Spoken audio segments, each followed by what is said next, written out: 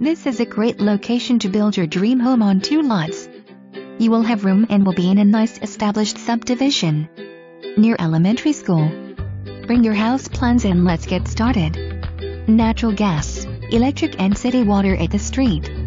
Buyer to verify all information.